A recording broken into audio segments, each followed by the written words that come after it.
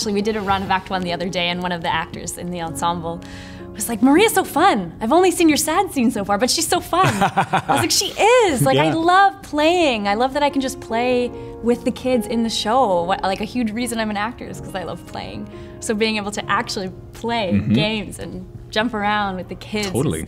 it makes it so joyful. when audiences come to see this show, I don't think they're going to be seeing me acting that I love these kids. These these children are are very so talented, great. very sweet, and they're very you know their focus level is is much higher than I would have ever thought for a group of kids like this. It's very difficult to fall in love with Jonathan.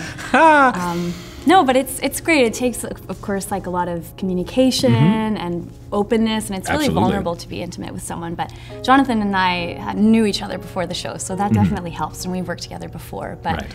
I think even being strangers, you do still friends or strangers, you have the, those Absolutely. talks, and you know it helps like being friends off off stage, sure. just to be comfortable with each other. Absolutely, Yeah, Yeah, but no, it's, it's very it's very easy. yeah. I'm finding it very easy. The mother abbess says to Maria that you have a great capacity to love. Is that the line?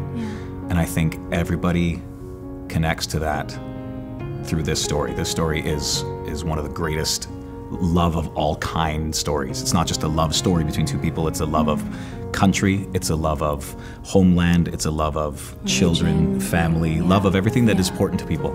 And uh, because because it it spends so much time and it's so perfectly created that way. Uh, it connects to people more more in all sorts of different ways than it does just one sort of straight through line.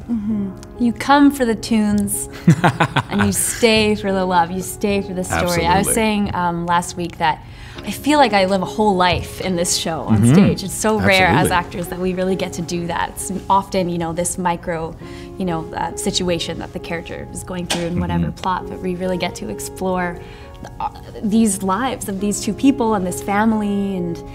Um, yeah, I think that it's people will get sucked in. They'll they'll get so invested in, in the characters in their lives and, and and they'll sing along probably too. Yeah, I mean, it could be one of the greatest love stories ever told, but it's sort of the greatest story of love ever told. Oh, I know, like so- that. I just made that up right now. Really? Just right now. I'm Come up with impressed. that.